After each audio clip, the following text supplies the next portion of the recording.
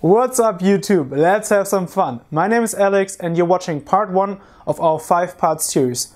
Our goal is to find out what is the best Android smartphone of early 2013. Is it the Galaxy S4, the HTC One or the Sony Xperia Z? Today we start by comparing the speakers of these three smartphones. Let's go.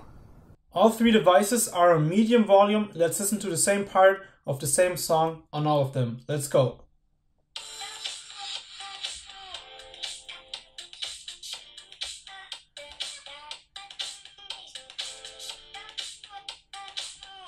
That was the Xperia Z, now the Galaxy S3, S4.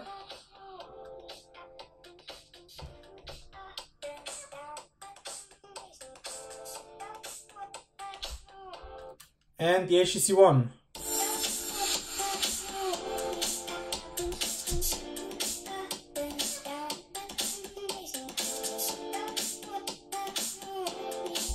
Alright, here's my ranking.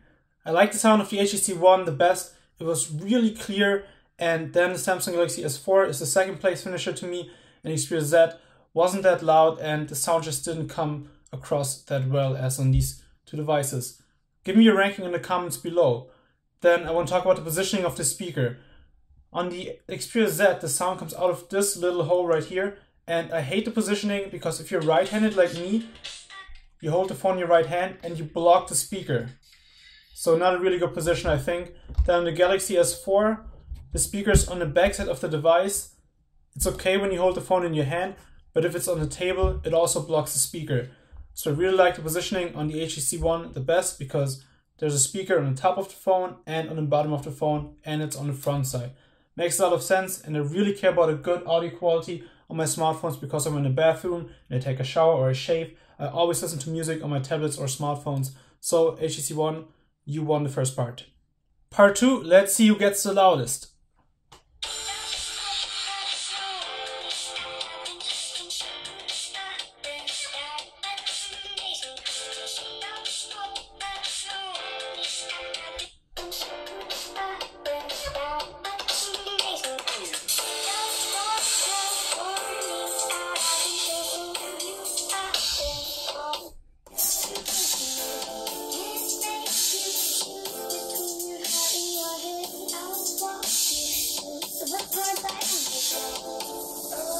Okay, to me, clearly the HTC One was the loudest, and then the Samsung Galaxy S4 second.